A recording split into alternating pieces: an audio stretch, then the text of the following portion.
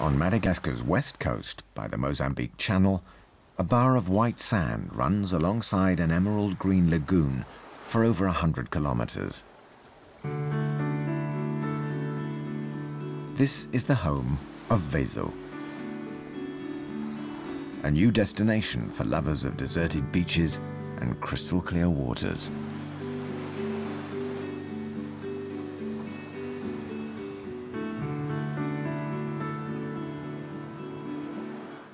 The new bungalows will be here. How many are you adding? Five bungalows. Right on the beach? Yes, and maybe a suite. Sonia is organizing the tourist season, and she has come to see Michel and Philippe Kotsoyanis. The couple have lived in Madagascar since 1993. A trained architect, Philippe was looking for somewhere to build an environmental hotel. When I discovered this place, I didn't look any further. It was just what I was looking for. It was even better than I'd imagined. I had no idea, even though I knew Madagascar, such places existed. So we stopped here.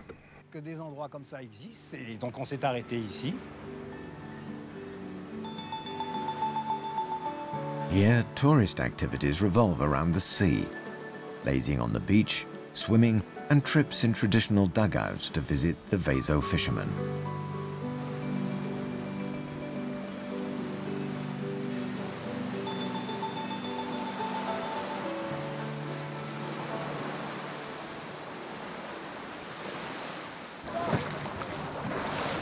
The word Vezo means he who paddles. The Vezo live off the ocean's resources. They fish out at sea by following the shoals or in the lagoon on traditional dugouts with outriggers.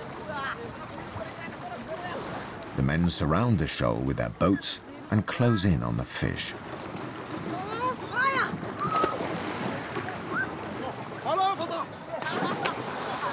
These remarkable free divers hunt for fish underwater without flippers and spear them with assegais.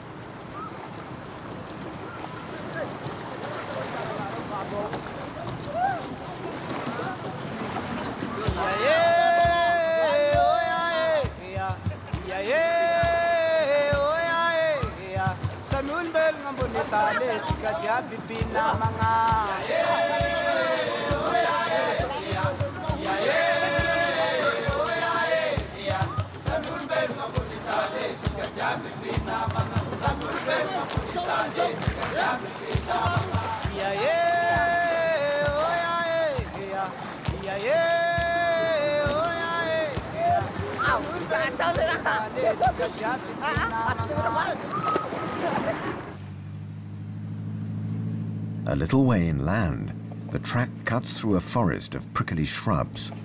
Philippe is taking Sonia to discover a botanical curiosity. These are classic baobabs, the type you see most often. Those we're going to see are spectacular. Mmm, they're already big and leafy.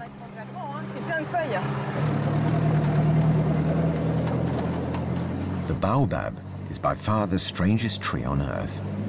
Its branches resemble roots. Some people even say it grows upside down, or that God planted it that way. Let's have a look at these. It's a fabulous group. An entire family.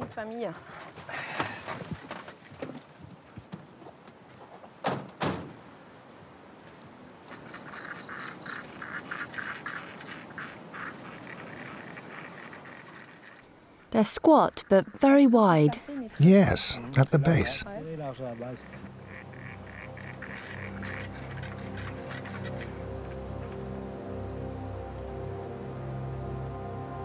Madagascar is very definitely the home of the baobab. Six of the nine known species in the world grow on the main island alone.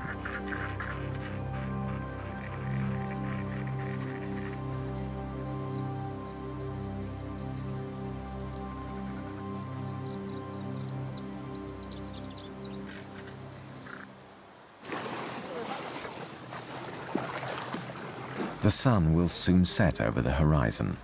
It's time to call it a day.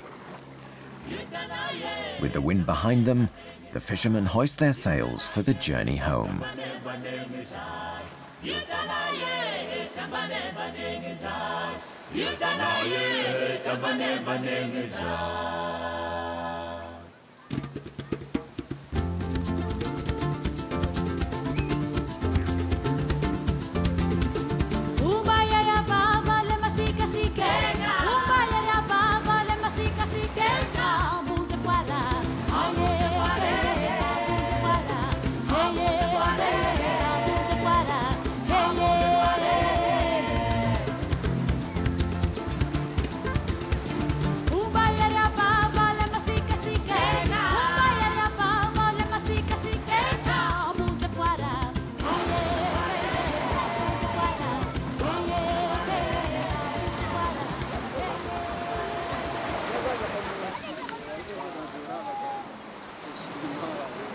The entire village turns out on the beach for the fishermen's return. The women come to collect the evening meal. Any remaining fish is gathered up and sold in the villages inland.